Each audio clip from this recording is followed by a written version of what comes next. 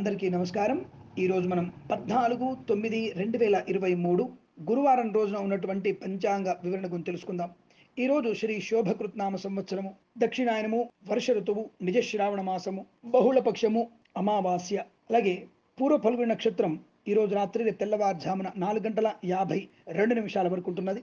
తదుపరి ఉత్తర ఫల్గుని అనగా ఉత్తరా నక్షత్రం ప్రారంభమవుతున్నది. దుర్ముహూర్తం ఉదయం పది గంటల పది నిమిషాల నుంచి పది గంటల యాభై తొమ్మిది నిమిషాల వరకు తిరిగి మధ్యాహ్నం మూడు గంటల రెండు నిమిషాల నుంచి మూడు గంటల యాభై నిమిషాల వరకు వర్జ్యం ఉదయం పది గంటల యాభై ఆరు నిమిషాల నుంచి పన్నెండు గంటల నలభై నాలుగు నిమిషాల వరకు అమృత ఘడియలు రాత్రి తొమ్మిది గంటల నలభై ఒక్క నిమిషం నుంచి పదకొండు గంటల ఇరవై ఎనిమిది నిమిషాల వరకు వ్యాప్తిగా ఉన్నది. రాహుకాలం సాయంకాలం అనగా మధ్యాహ్నం ఒంటి గంట నలభై నాలుగు నిమిషాల నుంచి మూడు గంటల ఇరవై నిమిషాల వరకు వ్యాప్తించి ఉన్నది.